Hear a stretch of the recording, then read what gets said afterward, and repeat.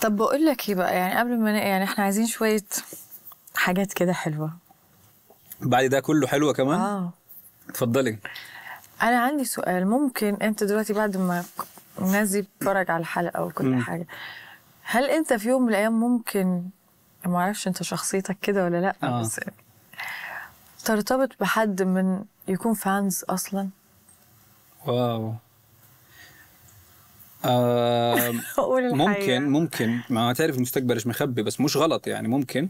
بس آم، طبيعة حياتي طبيعة آه، يعني الروتين حق حياتي وعملي ما يعني ما في شيء يخليني أحتك بال بال بال fans عرفتي؟ لأنه دائما يكون على ال social media وإلى يعني. ممكن تكون حد stalker أصلا.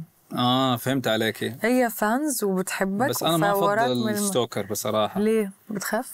مش بخاف. أحب الشخص يكون هو يعني حاببني عشاني أنا مهند كشخص مش عشان الهالة أو أيوه ما هو stalker عشان حبك أنت هو عارف عنك كل حاجة. لا هو عارف ال- النجم أو ال- الفنان اللي بيتابعه. في طب فرق. ممكن يكون ممكن يكون عامل search كويس عنك قوي وعارف إن أنت مهند. أنا هذا وجهة نظري إنه لو واحد مهم. كان هو ما يعني معجب وحابب مهند كشخص بالعكس أكيد أفضل.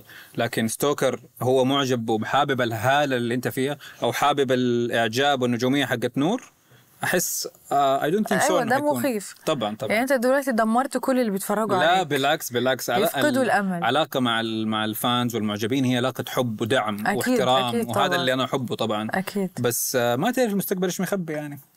هي